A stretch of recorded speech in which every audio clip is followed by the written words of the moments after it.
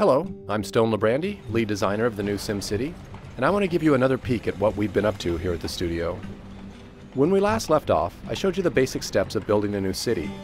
Since then, the team has been hard at work on the game, and I've created a new casino city so that I can show you some of the advanced strategies of multi-city play. My city's doing great. I have several casinos, and they're all filled with tourists. You can see them walking up and down the streets, looking for places to gamble, I can see how I'm doing financially by checking out my profit and loss at my casino headquarters. You can easily see that I'm making lots of money. This is also where I can check out how my casino empire is doing compared to every other player. Hmm, looks like I'm not doing as good as I thought. It's time to upgrade my casinos. Like most of the buildings in SimCity, I can click the edit button to see the different upgrade options. I have several choices, and each one provides me with a different benefit. This celebrity stage will lure more Sims through the door. Adding more gaming rooms, like this poker parlor, will increase my take from each gambler. Those are both good options, but I'm going to go with a hotel. If I want to get to the top of the casino leaderboard, I want the Sims spending their money at my casino instead of other places in the city. And as long as the beds are here, they won't have any reason to leave. Uh-oh, looks like my city just blew a fuse. I've been relying on my wind farm to power all of these buildings, and now the system is completely overloaded. Wind power is clean and cheap, and I could expand it, but I'd rather use that space to build more casinos later on. I could also bulldoze it and replace it with a coal power plant, but I don't really want all that air pollution in my city.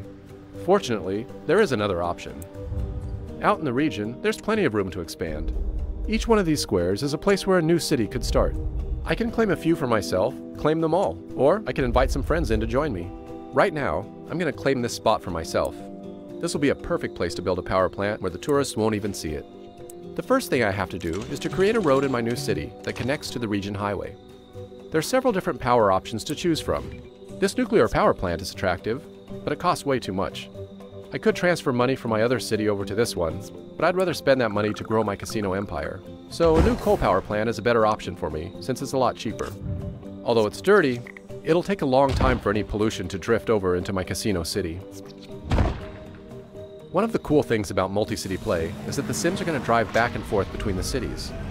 You can already see some commuters from my casino city making their way over here to work in my coal plant. I'm going to turn on the power data layer. Okay, the power's on and flowing nicely. If I go back up to region view, I can turn on the data layer here and see which resources are being shared between the cities. Yep, Power is being sent from my coal power plant over to my casino city. Nice. Dan is online and he wants to join in. If I invite him into my region, then he can play in any unclaimed city that he wants. I'm going to abandon my coal power city and let him take charge of it so that I can focus on my casino city. Dan can decide what kind of city he wants to build. Okay, now let's go back to my casino city. Alright, the power's back on, my casinos are making money again. Some of that money is going straight to Dan to pay for this power. Dan can use the money to build out his city, so we're both going to benefit from the deal. One of the problems with casinos, they attract a lot of criminals. I can easily see there's a problem because of all this graffiti on these buildings. If I want to see some more detailed information, I can turn on the crime data layer. Whoa, this is worse than I thought. These big red blobs, they show me all the recent crime activity. My one little police station can't keep up with all this crime. If I don't take care of this problem soon, the criminals will cross the border into Dan City and cause trouble there too. I think I'm gonna need a larger police station. I could place it out here on the edge of the city, but it's best to keep it closer to the casinos, near the worst crime zones. Since Dan is sending me plenty of power, I'm not gonna be needing this wind farm anymore. I'm just gonna bulldoze it, and make some more room. Alright, here we go. This police precinct has a lot of options.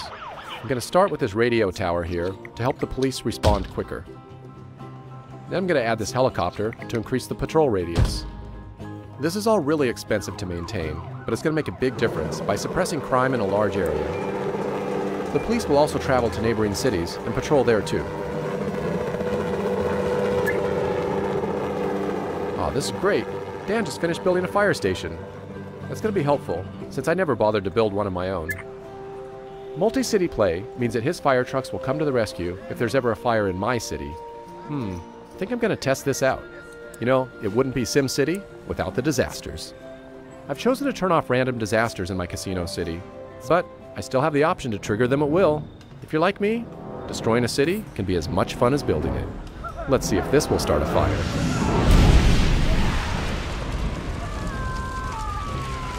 All right, here they come now. Looks like Dan's fire trucks are going to have a lot of work to do. Multi-city play makes playing SimCity more fun and strategic than ever before, as cities in a region get to work together and solve each other's problems. And taking it a step further, you can even work outside of the cities and cooperate to build great works out in the region. I'm going to ask Dan to help me build a space launch center over here, but we'll do that in the next video. Thanks for watching.